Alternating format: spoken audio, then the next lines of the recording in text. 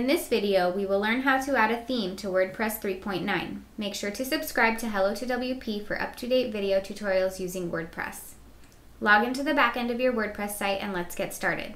Once you're looking at your dashboard, roll your mouse over Appearance in the Administration menu and click on Themes.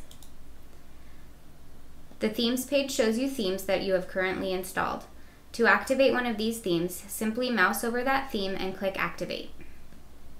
If you want to search for a new theme, WordPress 3.9 has an excellent theme browser for you to peruse. At the top, click the button Add New, which brings up the theme browser. The theme browser displays themes from the WordPress.org theme directory. These themes are designed by third parties and are available free of charge. You can search for different themes based on keywords, authors, or tags.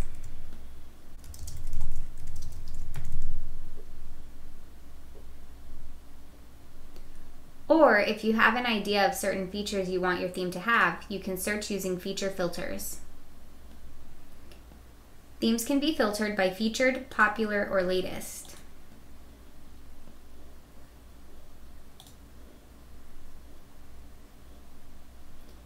As you can see, 2014 comes up with a checkbox and a notification that it has already been installed. This is currently a default WordPress theme in WordPress 3.9.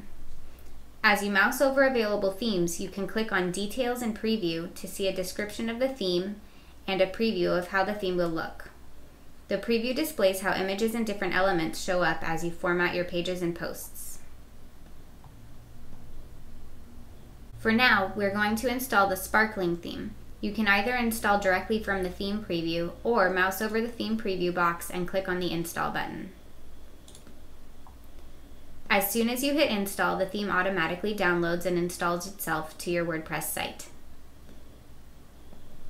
From here, you can return to the theme installer and browse for additional themes, or you can preview how the theme will look on your site using Live Preview. From the Live Preview, you can begin customizing the theme right away and activate it. Activating the theme means you're making it visible to the world when they visit your site.